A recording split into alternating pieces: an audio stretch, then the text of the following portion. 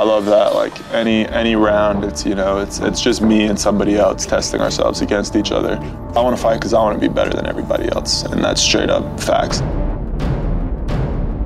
It's like I I want to be the best at this. Like I don't want to be second best, third best. You know what I mean? I don't want to be four and one, five and one. I want to be the best and be better than everybody else. He's fighting out of Springfield, Missouri. Make some noise with Julius the Juice Walker.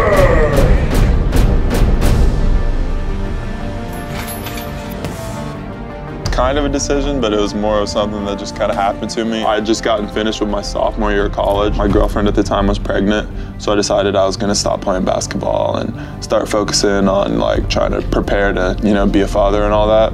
And I took one summer off from being an athlete and playing it all, and I had gained like probably like 30 to 40 pounds, and I was just really unhappy. So I wanted to give athletics a try again. I originally started jiu-jitsu, and then they got me to try an MMA class, and then from there I was hooked.